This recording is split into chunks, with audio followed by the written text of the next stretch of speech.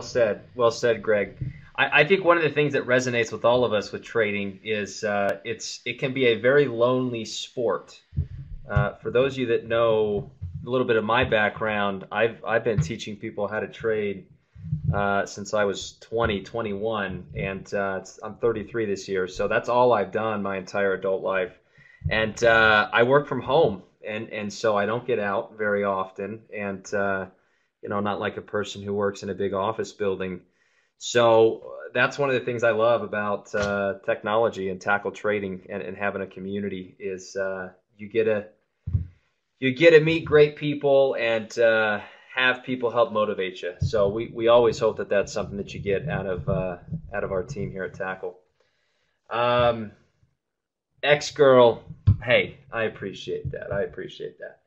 All right, guys. So here's what we've got planned for tonight. We're going to start with the typical market skyline. Uh, Greg and I are going to walk through the market. Uh, quite the exciting uh, movements over the past week. Uh, kind of uh, got shaken out of the stupor the market's been in. So we'll do a quick run through the market skyline as usual, and then uh, Greg and I wanted to walk through some of the picks from our stock and options report, and help you guys kind of look over our shoulder and uh, I, I explained the rationale as to why we selected the stocks that we did. Um, for you newcomers, uh, we, we are always uh, sensitive to the fact that trading can be overwhelming. We encourage you to just stick with us, be patient, get engaged, and you will pick up things uh, sooner than later. I, I think all those that are here and have been here for a while can attest to that if you stick around and you stay engaged, you will pick things up. No doubt about it. Okay, so I've got my screen up. Uh, can everybody see me okay? I think everybody can see me okay. Yes, yes. All right. Uh, Greg, let's go around the horn here, buddy. I'll, I'll let you uh, kick it off. Um, I will drive, but uh, tell me what you're thinking on the S&P. What's the takeaway from the week? Well, uh, you know that uh, that large candle we had what uh, two three days ago uh, makes a lot of folks nervous. Uh, it's uh, you know especially more so investor types than trader types. You know those those bigger red candles give us a little bump in the VIX, and that gets us traders excited for more premium in our options and a little bit of volatility rushing back into the market. However, as we've seen this movie before, uh, back in May, there we saw the kind of similar action. Uh, even back uh, just before April, there we saw similar action. Uh, it seems like we've got a one-off candle here. Uh, we're pushing back up towards those highs again. I think we'll find some resistance up there. you got the SPY on there. Say the 24.79.80 mark there. I guess that'd be 247. Um, but uh, yeah, I, nothing's really changed. Uh, although it, it, may feel like it's changed, really we're still in a long-term uptrend. Uh, you know, we haven't had a real meaningful correction. Now, the only thing I would say about this recent candle, the first one you got the arrow on, Tyler, is it did push down below the 50 MA, which uh, which was, you know, like I said, for a lot of folks, a lot of investor types, they kind of see that as you know a bullish bearish line, uh, and uh, for it to push down and close below that, uh, that that uh, that woke some people up, as you said, kind of got everybody out of the the doldrums of the of the sideways market that we were seeing. So, um, like I said, until further notice, uh, we're still in an uptrend. This was a you know three day pullback. Uh, big gap up on the next, well, it's the second day after that, and I expect that we're going to try and push towards that resistance. Yeah, how how many were surprised by this big down day? Uh, what this was Thursday of last week. This is one of the largest down days we've seen uh, in oh a couple of months. I know for me, Greg, I, I got hit on my bullish positions uh, on Thursday quite a bit, and uh, so needless to say, this rebound has has uh, really helped uh, my personal portfolio. Um, I can imagine though if people got shaken out of bullish trades on Thursday and and missed this bounce back, you know that could be a little bit frustrating.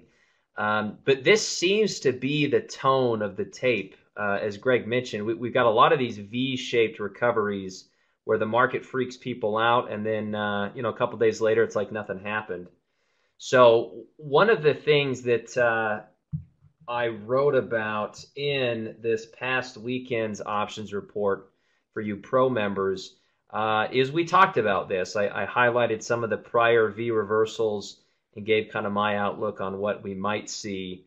Um, also had some commentary on the VIX, which um, Greg mentioned. We, we had a big pop in the VIX, and that was part of the commentary.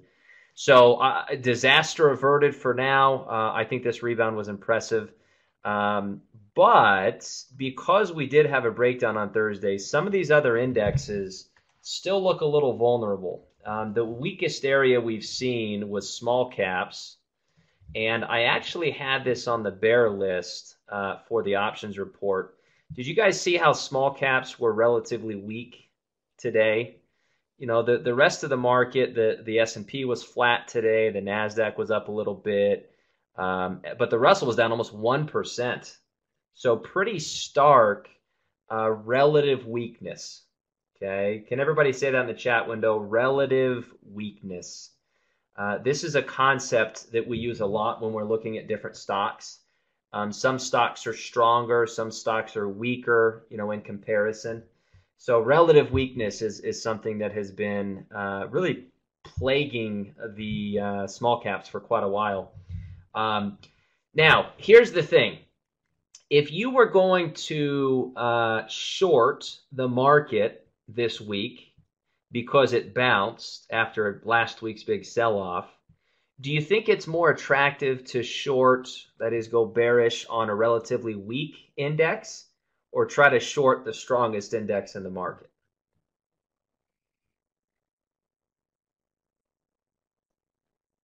Yeah, I agree. I, I, tend to I tend to you know kind of punish uh, weakness and reward strength, right? So this is one thing that I outlined in the options report, and and I think this is actually a perfect case study of of how we're trying to give you actionable intel, actionable content with these with these monthly reports or weekly reports, excuse me. And so one thing I outlined uh, over the weekend was how small caps had dropped all the way to that 200-day moving average. We had a lot of distribution, a lot of high volume selling, and then this relative strength indicator you could see was at a two-month low. Okay, and I know I'm jumping ahead here a little bit, but you can see in the bear watch for this week, IWM was one of those ticker symbols for that very reason. It was one of the biggest ones that broke down, had one of the worst sell offs. And, um, you know, I was expecting typically when you have a big high volume sell off, usually the next rally fails. Okay. So, how many think today would have been a good day to maybe enter a bear trade in IWM? You think today? I mean, if you so if you're looking if you're looking at IWM coming into this week, you can see it's you know it had three pretty decent sized red candles, hit the 200 day moving average, and I'm thinking, mm-hmm. okay, if this thing if this thing rolls over, I want to go ahead and get in it, right?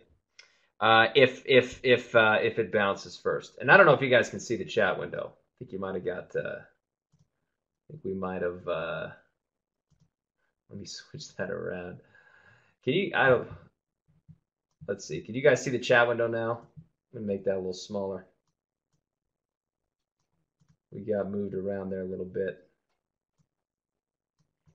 All right. You know, we're just, uh, we're just moving things around on you guys. Just trying to keep it lively here. There we go. There we go. Okay. So, anyways, th- this is one takeaway I think to the options report. We were anticipating small caps would rally and then fail, and we saw that today. Um, but you had to be quick on the trigger. I mean, you'll notice if if you looked at this last night, you said, "Oh, I got two big up candles. Maybe I got to wait for, you know, a reversal candle, right? Maybe we come back on Tuesday night, see if the we see a doji candle or maybe a reversal candle, and then I go bearish." Well, you didn't you didn't really get that today, did you? You know, small caps actually gapped up this morning and sold off all day long.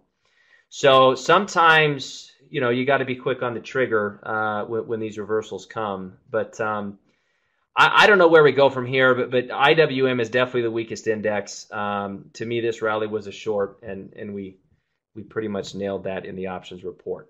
Okay. So, um, Greg, let me put you on the spot. What would you say to the question, why are we seeing weakness in small caps? Well, uh, my first instinct is to say that uh, we are still we're, we're getting the tail end of earnings season, and I've been watching the earnings uh, quite a bit, and I know that uh, a number of companies, smaller cap companies, have been getting you know pretty hammered on their earnings right now. There's been a lot of you know you go you go to the heat maps. There's been a fair number of uh, red boxes versus green boxes. And so when you get, uh, you know, obviously there's 2,000 stocks in the Russell, so it's not going to be just, you know, one or two stocks that that's going to bring it down.